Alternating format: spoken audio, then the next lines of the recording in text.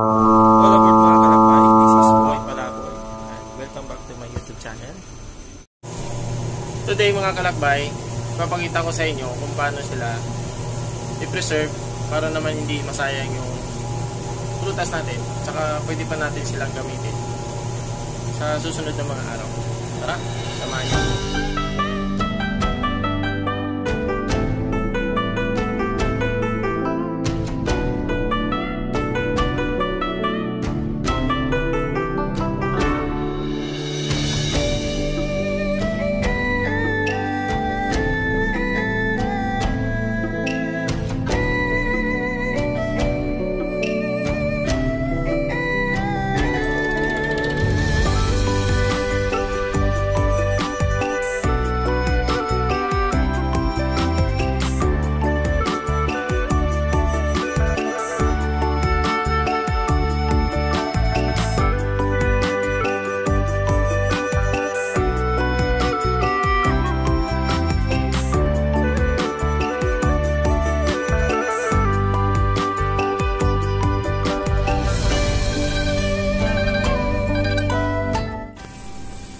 Ito na po yung ginawa ko.